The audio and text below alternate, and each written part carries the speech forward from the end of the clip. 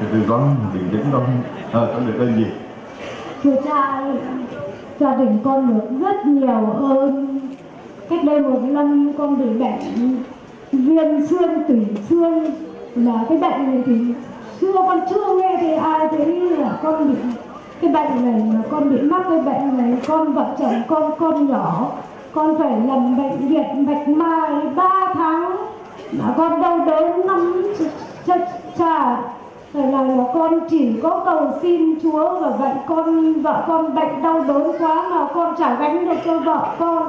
Thì là con chỉ biết vào xin tham vào Chúa.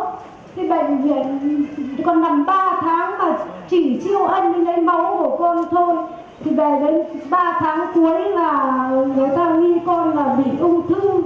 Thế con người ta lấy hai lần tủy sống của con người ta đi xét nghiệm ở bệnh viện quyết học trung ương thì bảo bệnh viện bạch mai giả con về. Là khi nào chị đau đớn quá thì cho chị ra bệnh viện quyết học trung ương.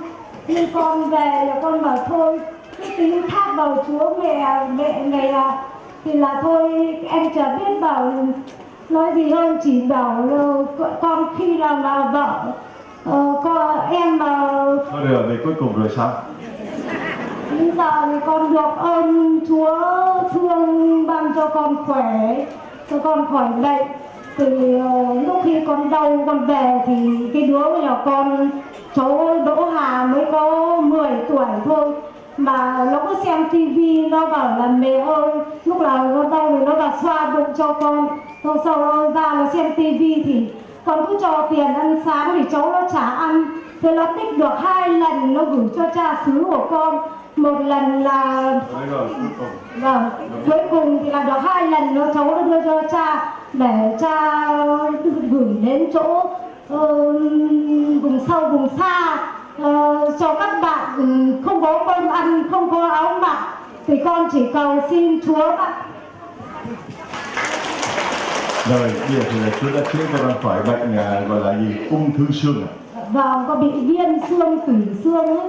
Thế là mẹ con cũng con mẹ được ơn là mẹ con cũng ốm, gọi là yếu ớt lắm. Thì bố con nhắn tin vào cho cha, thì cha cầu nguyện cho lúc 3 giờ. Thì mẹ con ờ, bảo là nghe được, bố con bảo nghe được tin cha ờ, cầu nguyện cho rồi cộng đoàn dâng lễ cầu nguyện cho mẹ rồi. Thì mẹ có tin phó thác vào Chúa. Thì Chúa sẽ gửi bệnh cho mẹ con. Thế giờ con từ ngoài Bắc vào đến đây. Thì uh, từ bố con mẹ con anh em là bay tàu bay về đến đây từ hôm 17 thế là con vẫn ở đây để con được dự lễ để con làm chứng cho Chúa. Rồi cả gia đình con vào đây. Bố con mẹ con. Con đây bố con mãi ở kiều các bác con các cô con ngay đây. Nhưng mà ngồi mỗi chỗ một lấy con chả biết gọi. Rồi đó quan trọng cho tặng cho con một cái máy 365 bài giải nha.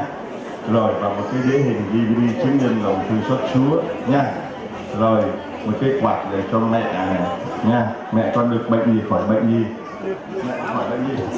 viêm cuống mật viêm cuống mật đây. Đây đây là một cái quạt nha, để cho mẹ tôi về cái quạt cho mẹ nha. Rồi ờ, cái ờ, móc khóa để cho bố. Rồi chưa? Rồi ờ, cái trà hạt để cho gì cái chuối để cho thím. Đủ hết nhà không chưa? Rồi không phải cho con gì thím hết con con đã được cái gì của Chúa chia sẻ cho mọi người?